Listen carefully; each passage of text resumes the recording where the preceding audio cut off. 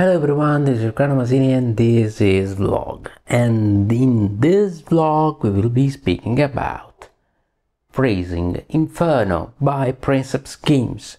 Princeps Games is a, uh, not so new publisher from Serbia because they already published uh, March to the Drina, which has been quite appreciated, a very good war game, and uh, now they are proposing a new system, a new system uh, that came after a very successful Kickstarter campaign. This is the result, and this system has been applied for the first time here about the Winter War.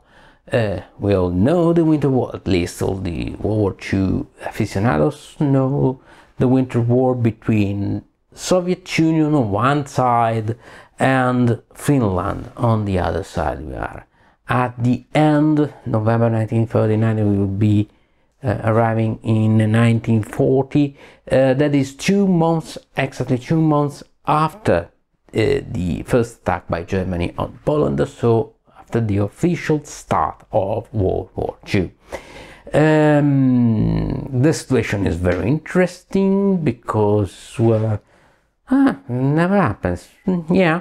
Uh, Soviet Union, it's a very uncommon history, uh, decided to invade a neighbor country, in this case uh, Finland, after some diplomatic negotiations that went on forever and forever, and that was a big, big attack by the Soviet Red Army against the uh, Finnish defenders. Uh, the Finnish were uh, ready, of course, here we see the Mannerheim line areas, all Finland. Okay, the map continues up there because yeah, Finland is longer than a than wider. So the map is in vertical. This is the map of the game, and you see there is another further Soviet force up there.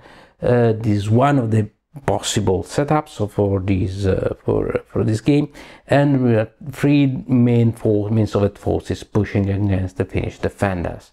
We all know the historical situation. Uh, the Soviets thought that they had the numerical and quantitative, quantitative and even qualitative advantage over the Finnish. It was not so because they made many mistakes. They let the armored uh, spearheads uh, to go too far from uh, from their infantry. They got isolated. The Mannerheim line was much more uh, stable than uh, what had been foreseen. the weather conditions were much harsher and there were problems with equipment. Finland managed to get some international support as well so at the end, yes, the invasion was successful, but only partly successful. Finland managed to survive, and then there was Barbarossa, and some of the Finnish troops attacked the Soviet Union, and there was a continuation of the war in 1944, and so on and so on. Um, anyway, this is 1940. This is the first invasion of Finland by the Soviet Union. And in this game that I will describe, now we are getting to the game, as a not so light war game. Why? Because it has all the appearance of a light war game. Hmm? A nice map. This is a double face map. Uh, on the other side of the map, there is a more war wargamey map. Okay, less color, less mm, nice with less frills, and so on. This reminds me a bit of the Panzer General let's get a closer look. This reminds me of the line, line okay. Uh, this reminds me of the Panzer General uh, video games, okay. It's more or less the same style. On the other side of this map, there is a, the same map in another version, more wargaming, let's say. But I think that it's ugly, even for our uh, usually not so attractive standards of wargames. So I will be using this one even if I don't know why they did not put the name of this. The smaller cities or the, the objective cities. Uh, while the other maps they are there. Why? Okay readability. Hmm, I would have liked it, you know where V. Is, for example, or Tolvajärvi or other famous cities involved in the campaign. Anyway, uh, other thing of the presentation, here are the units. The units you have not thoroughly identified units, regiment number 5, number 16, and blah blah blah, and this division, this battalion, but they are generic troops uh, that are identified by the number of pieces that are on a single hex. Those are the strength points that combine with the uh, attack or defense uh, values give the actual strength of, uh, of a unit. And these units also have uh, okay, also have movement values for the infantry, uh, ground units, or uh, here we are with artillery.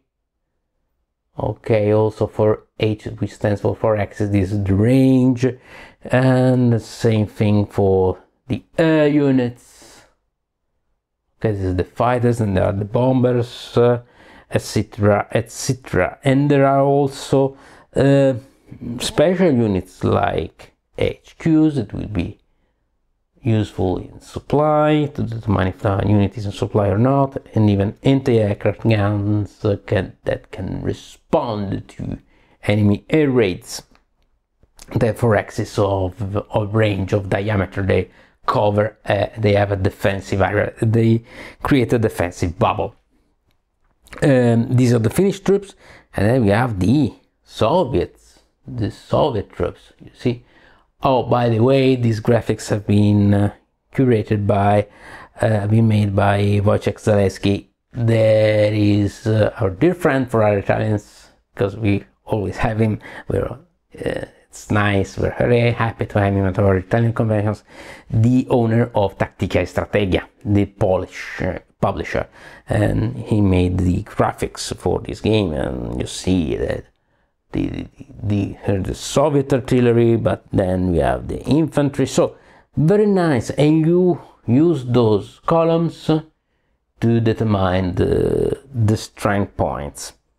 Hmm? Uh, the, in the campaign, there was also the possibility of downloading some STL files so that you could print with laser, with 3D printers, sorry, uh, some miniatures to use instead of the uh, counters, but I like more the contents. Um, this I'm a bit traditional. Um, so uh, how doesn't I think work? Uh, very easy. You see that anyway with all these strange things, okay, these nice presentations looks like a bit Axis and Allies. No, it is not Axis and Allies. First of all, it is an hex counter. Then I finished. That is, it's an hex and counter war game with uh, zones of control, uh, lines of retreat, supply, supply lines, uh, uh, arms coordination, everything, in, interactive movement, reaction movement, everything is there.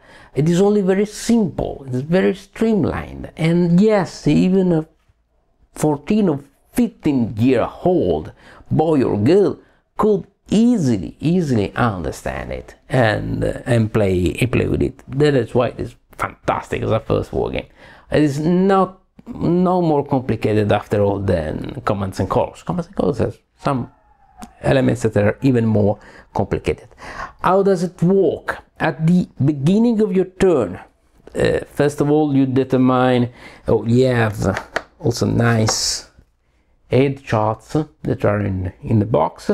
At the beginning of your turn, you, uh, oh, even even before. More uh, very interesting. Uh, you have uh, a blind setup at the beginning of the game the two players have this mini map this in which they say okay we'll put a tank here tank unit here infantry unit uh, and anti-aircraft unit there. And then they reveal the setups and then they make the setups. Uh, is also an advanced setup option which uh, does not in the basic setups tells you okay you have eight infantry units. Each of these units has five strength points, and that's it. The advanced setup says you have 40 strength points of infantry. You can divide them as you like because we can uh, those units can exchange. For example, these units has lost uh, three three strength points, these other units can say, okay, we will be sending these guys uh, into your position to reinforce you and so you have so in this way you simulate first and second lines and so on. And also this can be made in the setup. This adds a lot of replayability high variability and, and a very interesting blind bluff level at the beginning of the game, which is fine for such a simple game. Very nice. And uh, so this is the setup. Of course, the manual gives you because it is also a solitaire bot. This the manual gives you this manual can be this rulebook can be downloaded. Gives you some uh, typical setups that can be decided at random. These are the most balanced ones, uh, the one that I'm using here, or they can be just chosen. For example, if you don't know how how should I set up, this is the first time that I play this game. Oh my god! No panic, no panic. You already have some recommended setups in the in the book, but anyway, it is free setup. After the free setup, you begin with the turns first thing first thing of uh, of the turns uh, you have eight rounds the soviet the soviet player has eight rounds to uh, control three major at least two out of three uh, major cities in uh, in finland and then at the beginning of the which turn you have eight turns at the beginning of each turn uh, which round to be more accurate. Uh, at the beginning of each round, you determine which units are in supply, and units are in supply if they are at the very most seven seven hexes from your uh, from your command. But the very first, even before supply, the very first thing you do in a round is to draw a card. These cards, you see the numbers. Each of these cards belongs to a specific round. There is a deck with 24 cards three possible cards for every round at the beginning of the game you just take only for example only one out of three cards for turn one same for turn two three etc up to eight. The other cards are put back in the box so you don't know what will happen. You draw the card you flip the card and the card has lots of historical events lots of historical content and after that they say okay for this turn uh, soviet infantry has uh, a bonus of plus plus one. On second you don't know of course they are they are face down okay in this uh, this turn this soviet area supply soviet hq area supplied those to, to six hexes for example. Okay after that you determine which units are in supply which are not. Of course the usual mm, disadvantages for units not in supply. And then you activate your units quite freely but a unit must finish all, all its activation before coming to the next unit uh, the, the, the soviet player is the first one. Uh, so for example it says okay i have these tanks and i'm attacking you the Mannerheim line. So how do we deal with that? These units uh, with five strength points five plus 5 because the attack value is 10 this is the Finnish infantry and this Finnish infantry here has 5 has 5 uh, counters in the stack 5 past plus 3 this is the defense but they're in a bunker. This is 10 to 8 with the modifiers on the map. It is 10 to 8 and I roll and I look at these columns. Where is 10 to 8 okay 10 to 8 here it is. We will be using this column of this minus one because this unit is in a bunker. And so we roll uh, we roll a dry. You see for ground to ground combat and we have the results the results are very varied but there can be also air attacks even before but if uh, an air unit attacks here it can be a, a counterattacked by the air uh, anti-aircraft guns or even intercepted by Finnish air units. So there is an air-to-air. And after that, the surviving air units will make an air-to-ground, and so on and so on. Artillery can fire before. Artillery can uh, all the units first move and then and then attack. Artillery is the one that can attack and then move. So to give you for example, the possibility of uh, fighting withdrawals or fire and movement, etc. You see, lots of nuances. Also, there are special national tactics that can be used by the Finnish and by the Soviets. They're all historically based.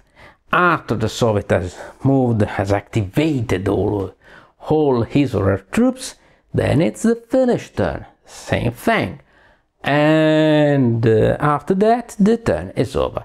In some turns, more or less, every once every three turns, three or two turns, you can have replacements, and those replacements are taken from a point um, pool from a pool of points from a point value point uh, general value and these points as the production points and they are based on the cities you still control on the map.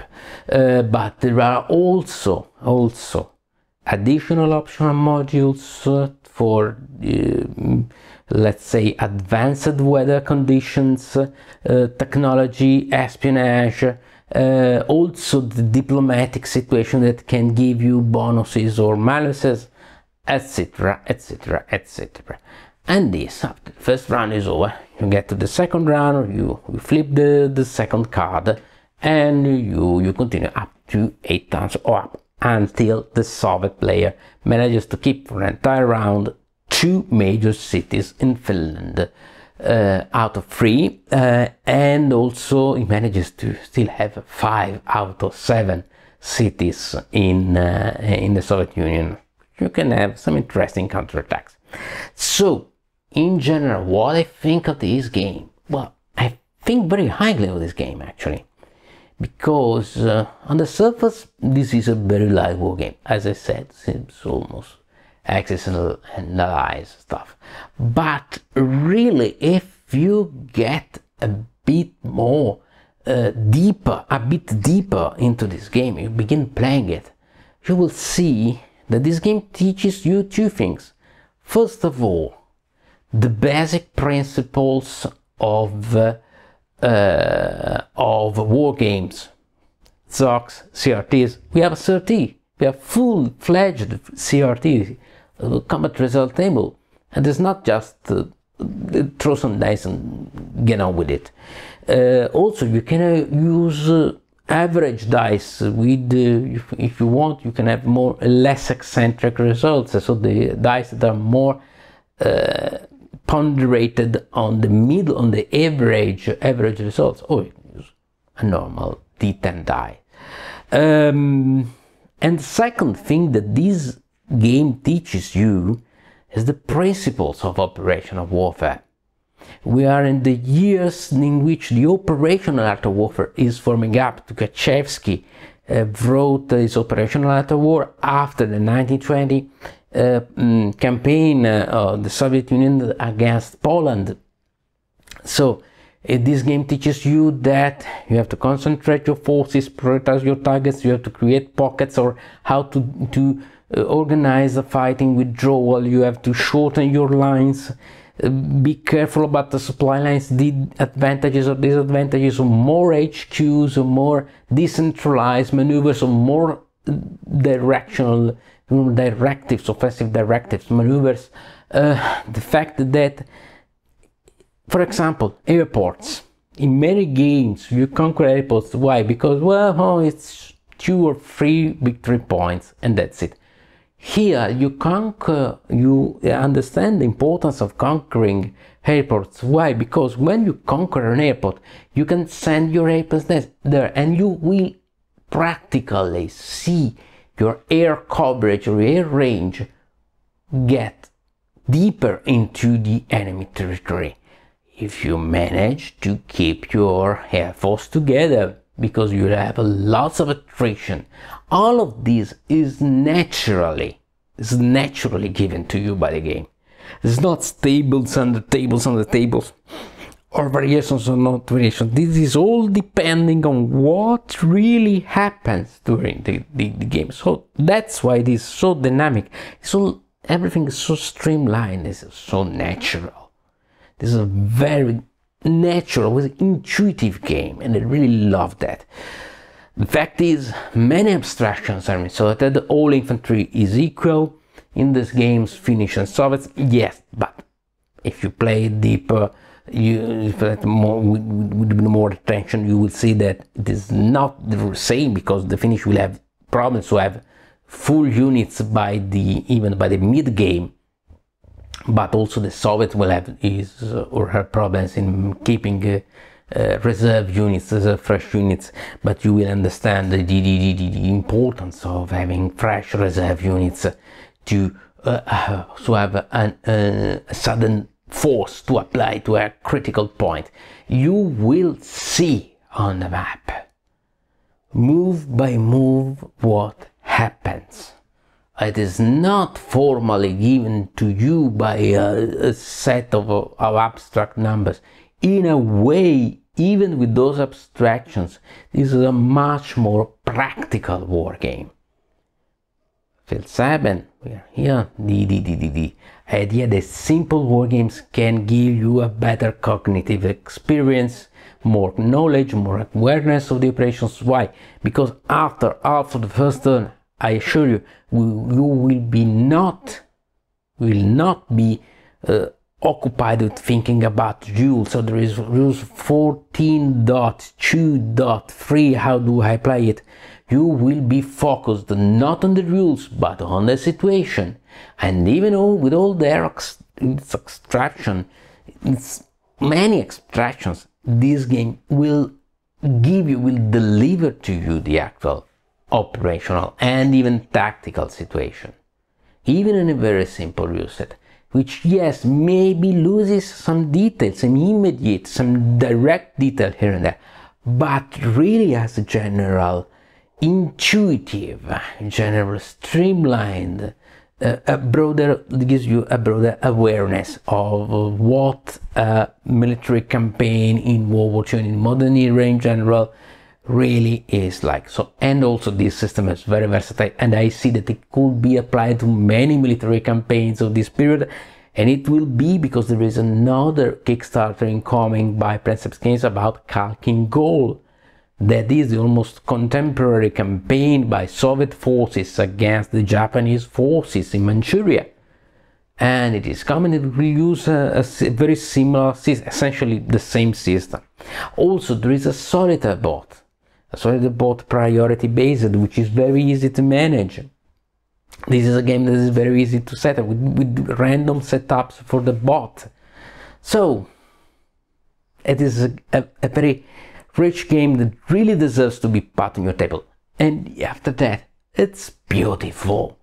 I imagine taking this in, also into a general club, mm, board gaming club night, or into a general board gaming convention, with people that say, oh, war games are dull, they're, not colored, they're tedious, they're boring, they're long, and you put this map, this giant, beautiful map, with these beautiful counters, and let's say, now let's play a war game. Now I'm going to show you what a war game really can be. Not so heavy, not so difficult. Yes, there are more detailed war games that are fine, they're fascinating, wonderful, and we can play that if you are interested. You can play those war games, but if you want, don't worry, we can begin with this and you will have a very deep historical experience, a very involving historical experience, a very fun and entertaining historical experience. After that, we can get into more detail or we can even stay here because there is lots lots of content of variables in the system this is the real strength of these kind of games and i'm very happy to to have made this Kickstarter. I will be making the one about Khalkhin Gol and I will um, bring this war game to many conventions also to and especially to non-war games to let them see okay war games can be bright, can be colored, but can be historical, historically valuable, very valuable, and also very fun. It's a game that in three hours at the most you play the entire campaign. If you want to play the campaign once again with more detailed games, you can do no problems and uh, great, many great, fantastic war games about the Winter War and uh, more classic, more traditional war games, no problems but you also have this alternative. And also if you're a veteran wargamer, as I am, you will appreciate the freshness, the, the, the, the immediacy, but once again, the historical value, the rendition of the historical value in this in this game, even with other fellow veteran wargamers that okay, we have just an evening to do. I don't want to spend eight or nine hours or keep a, a game in multi-session. Let's take this out in three, maximum four hours, and with all the optional modules activated, then you have a, a fairly good simulation. And not banal simulation, not simplistic, absolutely. Fairly good and deep simulation also the political elements. And so you will appreciate it. This is a very fun game. I really, I really recommend it. you see, I'm a bit enthusiastic about this. Uh, but really, this is a new interpretation of what Game is. It is a modern, very attractive presentation. It is not, once again, absolutely not not exclusive, uh, not mutually exclusive with other forms of more classical war games which we are all accustomed to, which are all used to, uh, and, and it is a good game. It is nice, it is fun, and it has a lot of historical value. Uh, now I will be closing here this episode. Uh, one advice: go to the Princeps Games uh, website, download the rulebook, and see for yourself and uh, you will see just read the U-book and just by reading the U-book and even after that will be a few components etc but just by reading the U-book you will see the level detail that, that it is in this game and what can be taken out of this game as an experience what this game can give you as an experience. A lot. Really a lot.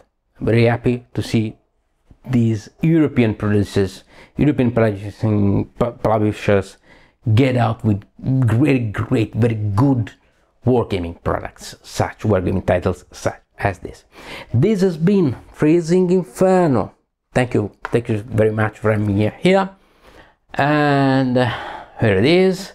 And uh, as always, thank you so much. Uh, have fun, take care, take care, and as always, Remember, never forget, don't be scared, it's just war games. Ciao!